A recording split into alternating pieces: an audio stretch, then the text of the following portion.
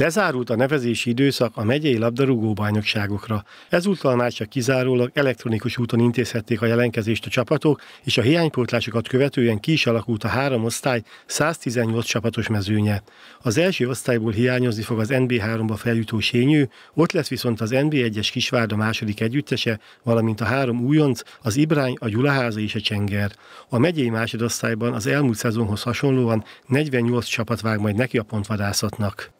A megye másodosztály maradt 3x16 csapatos, itt már azért sokkal nagyobb volt a mozgás az elmúlt évhez hasonlóan, hiszen négy olyan egyesület is volt, aki ugyan megye kettes jogot megtartotta a tavalyi szezonban, de mégse élt azzal a lehetőséggel, hogy megyei másodosztályba szerepeljen, hanem inkább visszanevezett megye harmadosztályba. Elsősorban ez az ifjúsági csapatok nehéz kiállítása miatt történt meg, így a megye harmadosztályból a második helyezettek közül is kerültek fel, valamint még azok a megye kettes csapatok is bennmaradtak, akik egyébként a szezon után úgy tudták, hogy kiesnek, sőt volt egy olyan megy a hármas csapat, hogy a legjobb harmadik helyezettet is fel kellett kérnünk, tehát egészen a Kálmán házáig el kellett mennünk a feltöltésbe.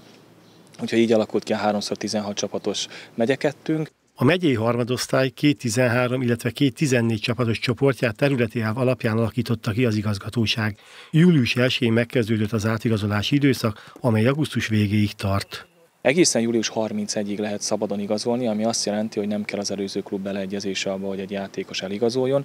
Augusztus hónapban, augusztus 31-ig tart egyébként az átigazolási időszak, viszont augusztus hónapban már csak úgy tud csapatot váltani egy játékos, hogyha az átigazolási lapot aláírja az a klub, amelynek jelenleg még a labdarúgója. A megyei első és másodosztályban az augusztus 11-12-i hétvégén kezdődik a bajnokság, míg a harmadosztályban egy héttel később rajtol a szezon.